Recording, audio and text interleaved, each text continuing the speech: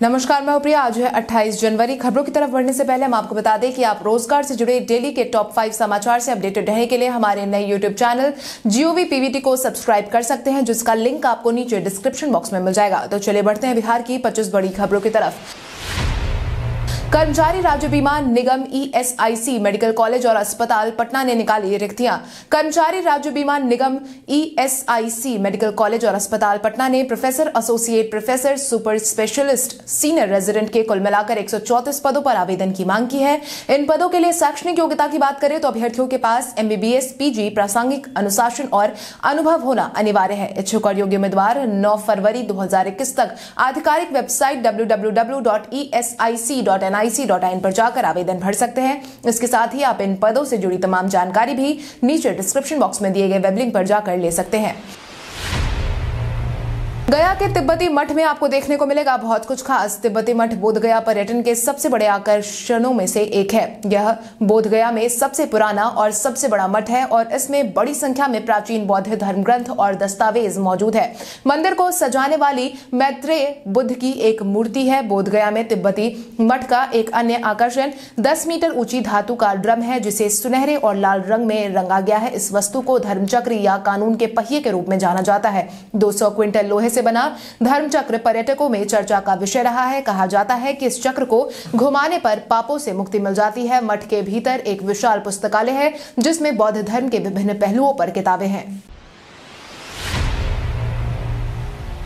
बिहार के मुजफ्फरपुर में पटना समेत ये सात जिलों की सेना बहाली का शेड्यूल हुआ जारी। बिहार के मुजफ्फरपुर के चक्कर मैदान में पहली बार दानापुर एआरओ के अधीन आने वाले सात जिलों के लिए 11 से 28 फरवरी तक सेना बहाली की प्रक्रिया होने वाली है। इसके लिए सेना मुख्यालय ने कार्यक्रम जारी कर दिया है। इसमें soldier GD technical clerk SKT nursing सहायक और ट्रेड्समैन श्रेणी के लिए बहाली प्रक्रिया होगी। इसमें पटना, बक्सर, भोजपुर, सिवान, सारण, गोपालगंज और वैशाली ज़िले के अट्ठासी 500 से अधिक युवक शामिल होंगे। शारीरिक दक्षता की जाँच के बाद मेडिकल जाँच होगी, जिसके बाद अभ्यर्थियों को प्रवेश कराया जाएगा। इसके बाद मेडिकल जाँच भी की जाएगी।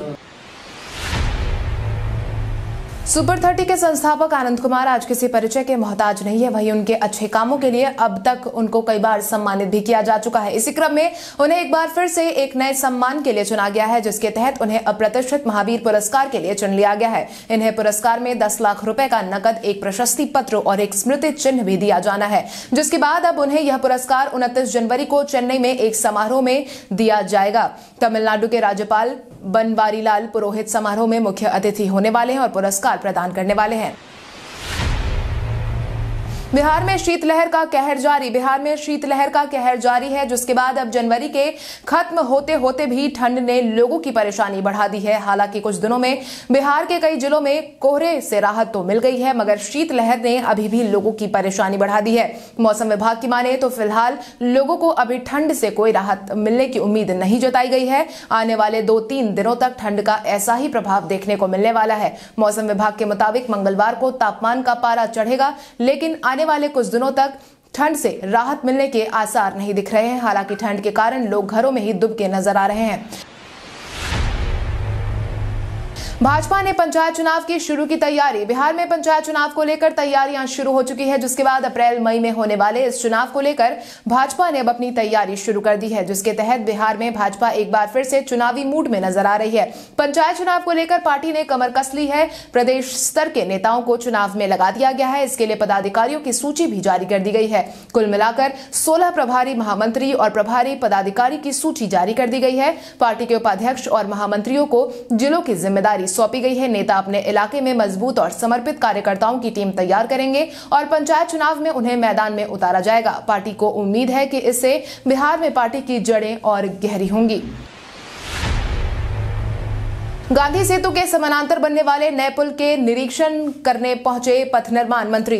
पटना से वैशाली जिला को जोड़ने वाली गंगा नदी पर निर्मित विश्व प्रसिद्ध सड़क पुल महात्मा गांधी सेतु के समानांतर बनने वाले नए पुल का निर्माण कार्य की स्थिति का जायजा लेने, बुधवार को पथ निर्माण मंत्री मंगल पांडे और प्रदेश के पूर्व पथ निर्माण मंत्री सह पटना साहिब से विधायक नंद किशोर यादव निर्माण स्थल पर पहुँचे। इस दौरान पटना सिटी के गायघाट पहुंचकर वहाँ बने पुल पर निर्माण कंपनी के कार्यालय का भी जायजा लिया गया। निरीक्षण करने के बाद पथ निर्माण मंत्री मंगल पांडे ने कहा कि गांधी सेतु के पश्चिम में बनने वाले फोर लेन सेतु का निर्माण कार्य अपने जोरों पर है। वैशाली और पट्टा दोनों ही क्षेत्रों में पुल का निर्माण कार्य सुचारू रूप से चले। इसके लिए वो विभागीय अभियंता से लगातार संपर्क में भी है। तय सीमा तीन साल छह महीने के भीतर ही ये फोर लेन सड़क पुल बनकर तैयार हो जाएगा।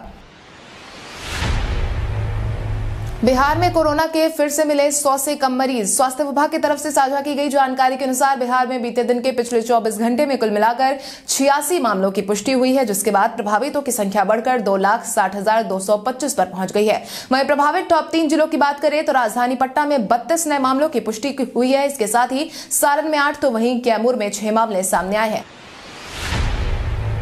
पुलिस मुख्यालय की नज़र इस बार बजट पर बिहार पुलिस आधुनिकीकरण की दिशा में आगे बढ़ती जा रही है। इसको लेकर राज्य सरकार की तरफ़ से राशि मुहैया कराई जा रही है।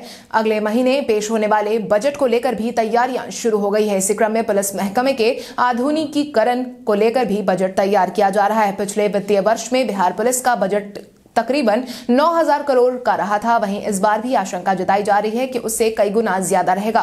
पुलिस मुख्यालय की तरफ़ से बनाए जा रहे वित्तीय वर्ष 2021-22 को लेकर स्वरूप तैयार कर लिया गया है। वहीं अब बिहार विधानमंडल की तरफ़ से स्वीकृति मिलने के बाद ही यह तय हो पाएगा कि बिहार पुलिस आधुनिकीकरण को लेकर कितना बजट मिला है। बीपीएससी ने जारी किया आरक्षण रोस्टर। बीपीएससी की परीक्षा देने वाले अभ्यर्थियों के लिए अहम सूचना। बिहार लोक सेवा आयोग ने हाल ही में इकतीसवीं न्यायिक सेवा प्रतियोगिता परीक्षा के जूनियर जजों के पद पर बहाली के लिए आरक्षण का रोस्टर जारी कर दिया है। आपको बता दें, इसकी शुरुआत पिछले साल हो गई थी। हालाँकि लॉकडाउन के कारण तीसरी न्यायिक बहाली की प्रक्रिया को रोक दिया गया था। आपको बता दें, परीक्षा में दो सौ इक्कीस पदों में से पैंतीस पद क्षैतिज आरक्षण के अंतर्गत अनुसूचित जाति, महिला के लिए चौदह और अनुसूचित जनजाति के दो पद अत्यंत पिछड़ा वर्ग के सैतालीस पद, जिसमें अत्यंत पिछड़ा वर्ग महिला के लिए 16 और पिछड़ा वर्ग के 26 पद। इसके अलावा आर्थिक रूप से कमज़ोर वर्ग के 23 पदों में से सात महिला को और सामान्य वर्ग के 88 पद होंगे। इसमें 33 पद सामान्य महिला और एक फ़ीसदी पद दिव्यांग के लिए होगा, जबकि दो पद स्थित दिव्यांग के लिए भी आरक्षित होंगे। आज बिहारी पहचान में हम बात करेंगे आलोकनाथ की। आलोकनाथ 10 जुलाई 1956 में खगड़िया में जन्मे थे। आलोकनाथ ने अपने करियर की शुरुआत साल 1982 में फ़िल्म गांधी से की थी। उन्होंने हिंदी सिनेमा में हर तरह की भूमिका अदा की है। उन्हें सूरज बड़जातिया और राष्ट्रीय प्रोडक्शन की फ़िल्मों में अच्छे पिता का किरदार निभाने से हिंदी सिनेमा में बेहद प्रसिद्धि मिली, जिस कारण दर्शकों ने भी उन्हें बाबूजी कहना शुरू कर दिया था। शिक्षक अभ्यर्थियों का विरोध लगातार है जारी। बिहार में शिक्षकों का विरोध खत्म होने का नाम नहीं ले रहा है। सरकार की बेरुखी और लेट लतीफी को देखते हुए शिक्षक अभ्यर्थी अभी भी विरोध में जुटे हुए हैं। बीते दिन लगातार नौवे दिन शिक्षक अभ्यर्थियों का विरोध देखने को मिला, जिसके तहत नियोजन की मांग को लेकर शिक्षक अभ्यर्थी लगातार गर्दनी बाग में बने हुए हैं। ठंड में लगातार धरना प्रदर्शन कर रहे हैं। शिक्षक अभ्यर्थियों ने साफ़ कहा है कि अभी तक सरकार के प्रतिनिधि और अधिकारी उनकी बात नहीं सुनने आए हैं। अगर हमारी मांग से कोई परेशानी है तो आप हमसे बात करें। इतना ही नहीं, सभी शिक्षक अभ्यर्थियों ने मीडिया कर्मियों से अपनी बात सरकार तक पहुँचाने की बात भी कही है। शिक्षकों ने साफ़ कहा है कि सरकार तक हमारी बात पहुंचाई जाए, ताकि नियोजन प्रक्रिया शुरू हो सके। सके और हम अपने काम पर जा सके।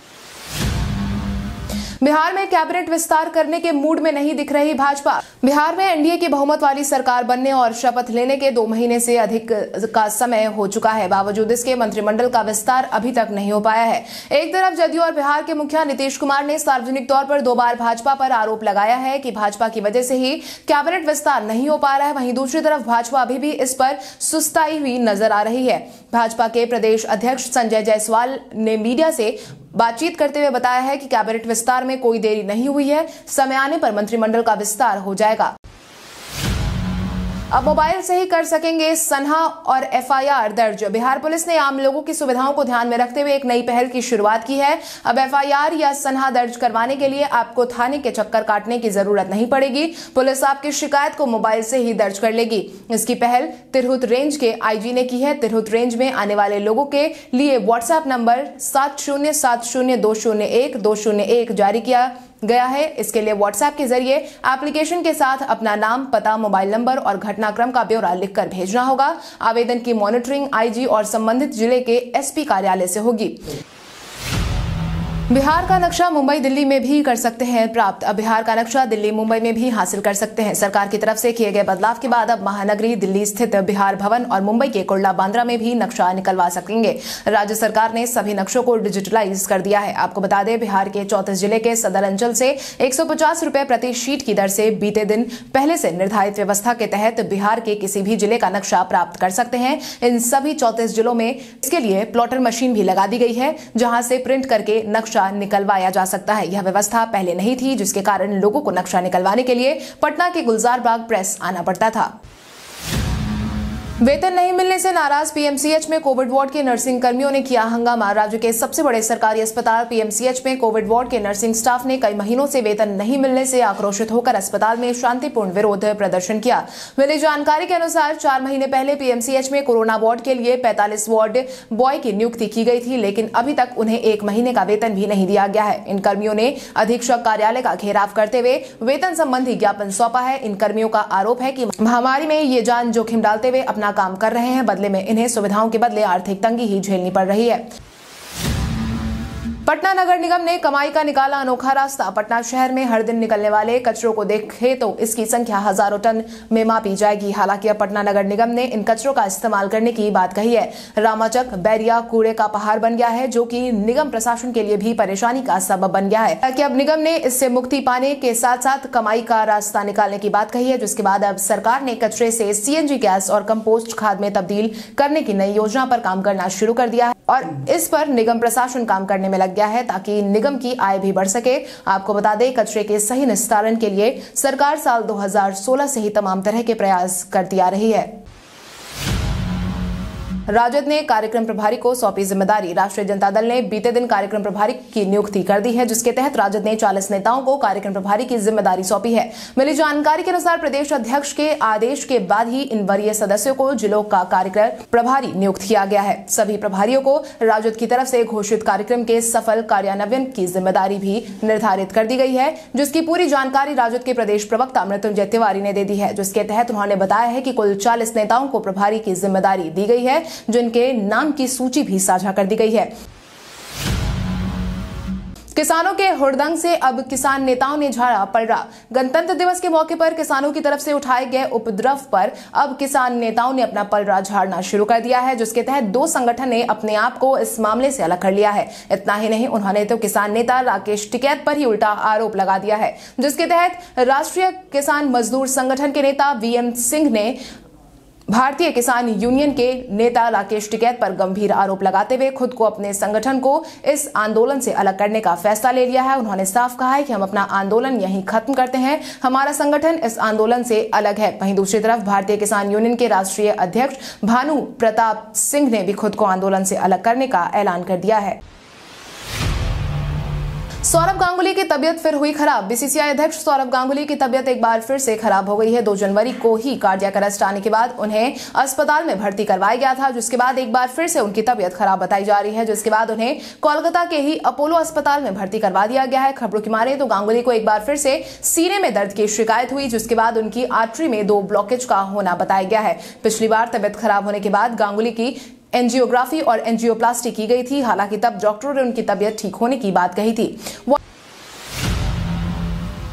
पटना में बढ़ सकते हैं 12 वैक्सीनेशन सेंटर। बिहार समेत पूरे देश में कोरोना को लेकर वैक्सीनेशन का काम किया जा रहा है, जिसको लेकर पटना में कुल मिलाकर 17 केंद्र बना दिए गए हैं। हालाँकि अब राजधानी पटना में वैक्सीनेशन कार्यक्रम में तेज़ी लाने की तैयारी शुरू हो चुकी है, जिसको लेकर अब सेंटर की संख्या बढ़ाने की तैयारी हो रही है। पटना की civil surgeon doctor Vibha Kumari ने इस बात की जानकारी दी है और बताया है कि वैक्सीनेशन सेंटर बढ़ाने के लिए विभाग को प्रपोजल जारी कर दिया गया है। बारह वैक्सीनेशन सेंटर की सूची भेज दी गई है। अगर अगर इन वैक्सीनेशन सेंटर की अनुमति मिल जाती है तो 30 जनवरी से पटना में 12 वैक्सीनेशन सेंटर को बढ़ा दिया जाएगा। व्हाट्सएप पर अब बदलेगा चैटिंग का अंदाज। इंस्टेंट मैसेजिंग ऐप व्हाट्सएप के यूज़र आज पूरी दुनिया में भरे पड़े हैं। वहीं अब व्हाट्सएप अपने यूज़र को बेहतर सुविधा मुहैया करवाने के लिए नए नए फीचर को भी जोड़ता आया है। इसी क्रम में अब व्हाट्सएप पर जल्द ही रीड लेटर और मल्टी डिवाइस सपोर्ट फीचर आने वाला है। अब मिली ताज़ा जानकारी के अनुसार WA बीटा इन्फो की तरफ़ से पेश किए गए रिपोर्ट की माने तो व्हाट्सएप स्टिकर शॉर्टकट नाम के एक नए फीचर पर काम कर रहा है। स्टिकर्स के ज़रिए यूज़र अपनी बात को ज़्यादा बेहतर तरीके से कह पाते हैं, साथ ही अपनी भावनाएँ भावनाएँ भी व्यक्त कर पाते हैं। नए फीचर का काम आपके लिए सही स्टिकर ढूंढना आसान बनाना है। यह फीचर आपके चैट बार में दिखाई देगा। शहनाज गिल का अनोखे अंदाज में सिद्धार्थ शुक्ला ने मनाया बर्थडे। बीते दिन शहनाज गिल ने अपना जन्मदिन मनाया है। हालाँकि उनके जन्मदिन का एक अनोखा वीडियो भी सामने आया है, जिसमें यह देखा जा सकता है कि कैसे सिद्धार्थ शुक्ला उन्हें अनोखे अंदाज में बर्थडे विश कर रहे हैं। इस वीडियो में यह देखा जा सकता है कि शहनाज गिल अपने दोस्तों के साथ एक होटल में है, जहाँ एक प्राइवेट पूल भी है। सिद्धार्थ अपने एक दोस्त के साथ मिलकर सत्ताईस तक गिनती करते हैं और शहनाज को सत्ताईस पूरा होते ही पूल में फेंक देते हैं। इतना ही नहीं इसके बाद सिद्धार्थ समेत सभी दोस्तों ने शहनाज का केक भी कटवाया, जिसके बाद यह वीडियो सोशल मीडिया पर तेज़ी से ट्रेंड कर रहा है।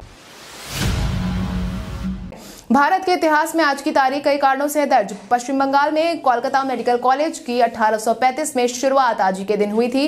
न्यायाधीश हीरालाल कानिया ने 1950 में आज ही के दिन उच्चतम न्यायालय के मुख्य न्यायाधीश का पद संभाला था। भारत के पूर्व प्रधानमंत्री राजीव गांधी की जान लेने के मामले में 26 अभियुक्तों को उन्नीस में आज ही के दिन सजा दी गई थी। भारत ने 28 जनवरी साल 2000 को अंडर 19 के युवा वर्ल्ड कप क्रिकेट के फाइनल में श्रीलंका को बुरी तरह आज ही के दिन हराया था। भारतीय सेना के पहले भारतीय सेना अध्यक्ष, field marshal K M Cariappa का जन्म अठारह सौ निन्यानवे में आज ही के दिन हुआ था। गुजराती साहित्यकार राजेंद्र शाह का जन्म उन्नीस सौ तेरह में आज ही के दिन हुआ था। दो हज़ार सत्रह में भारतीय मूल की प्रसिद्ध लेखिका भारती मुखर्जी ने आज ही के दिन दुनिया को अलविदा कहा था। अट्ठाईस जनवरी को डेटा संरक्षण दिवस के रूप में भी मनाया जाता है। अब आइए जानते हैं सराफा बाज़ार और पेट्रोल डीजल के क्या थे भाव। अगर हम सराफा बाज़ार की बात करें तो सोने का भाव 27 जनवरी को 22 कैरेट के लिए प्रति दस ग्राम अड़तालीस हज़ार तीन सौ तीस रुपए था, वहीं 24 कैरेट के लिए प्रति दस ग्राम उनचास हज़ार तीन सौ तीस रुपए था। वहीं अगर हम चांदी की बात करें तो चांदी का भाव प्रति किलो छियासठ हज़ार पाँच सौ रुपए था। इसके अलावा राजधानी पटना में पेट्रोल की कीमत अट्ठासी दशमलव तीन सात रुपए प्रति लीटर थी, वहीं डीजल छिहत्तर दशमलव एक नौ रुपए प्रति लीटर था। कल हमारे द्वारा पूछे गए सवाल का जवाब आप में से बहुत सारे यूज़र ने हमें कमेंट करके दिया था। उसके लिए आपका बहुत बहुत धन्यवाद। आप में से जिन यूज़र का कमेंट हमें अच्छा लगा है, उनके नाम है मनीष मोहरा प्रभुनाथ गुप्ता, रणधीर कुमार, कैलाश मिश्र, सूरज राज, दिव्यांशु कुमारी, साहिल कुमार, आशीष कुमार, संजीत कुमार, मृत्युंजय कुमार, मणिकांत कुमार, असलम राज, आरती कुमारी, श्वेता रॉय प्रदीप, कमलेश कुमार। इसके अलावा हमारी टीम को और भी लोगों के जवाब अच्छे लगे हैं, मगर समय के अभाव के कारण हम उनका नाम नहीं ले पाए? लेकिन आप हमारे सवालों का जवाब देते रहे, हम कल आपका नाम लेने की पूरी कोशिश करेंगे। तो चलिए बढ़ते हैं आज के सवाल की और आज का सवाल कुछ इस प्रकार है। आपके अनुसार बिहार में स्वास्थ्य व्यवस्था को दुरुस्त करने के लिए सरकार को कौन कौन से कदम उठाने की ज़रूरत है? अपने जवाब हमें कमेंट करके ज़रूर बताएँ। इसके साथ ही आज के लिए बस इतना ही। अगर आप ये वीडियो हमारा यूट्यूब पर देख रहे हैं तो हमारे चैनल को सब्सक्राइब करें और बेलाइकॉन दबाना ना भूलें। और अगर आप ये वीडियो हमारा फेसबुक पर देख रहे हैं तो इस वीडियो को लाइक करें और ज़्यादा से ज़्यादा शेयर करें। धन्यवाद।